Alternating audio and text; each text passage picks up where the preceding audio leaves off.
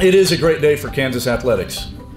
And at Kansas Athletics, we believe in being a coach and student athlete centered athletics department. We believe in substance over style and underselling and overproducing.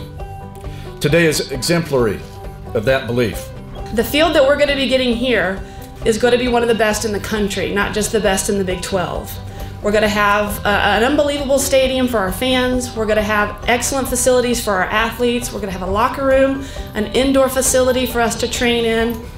These girls are going to get the best facility to become the best athletes they can be. Right now, we have the worst facility in the Big 12. Same thing, situation as Megan, but we're going to go from having the worst to having the best.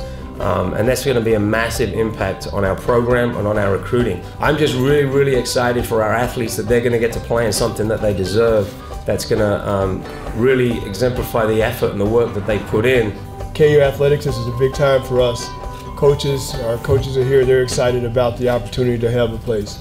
You know, it's our hope that this is going to be one of the best places in the nation. For recruiting wise, it's going to be a great time for recruiting. We'll bring the athletes out, they'll see the facility, it's it's about how much the athletes want want it. The athletes want and they see an environment that is going to welcome them and, and a place that they can call home.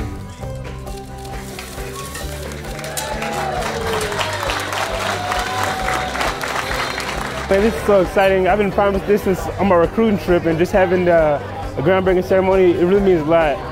Uh, being able to run in the state-of-art facilities, I can't explain it. Fast track, it goes fast times, and who doesn't want to come to run fast times? It's really exciting. It's going to be an awesome opportunity for our athletes to train here and um, have the best facility in the nation to compete on and train on. So we're excited. When I was getting recruited, I saw the plans, you know, for a new facility, and obviously haven't seen it for this all going going into my fourth season. And I won't be able to reap the benefits of this, but to be able to see my teammates, you know, benefit from it will be amazing.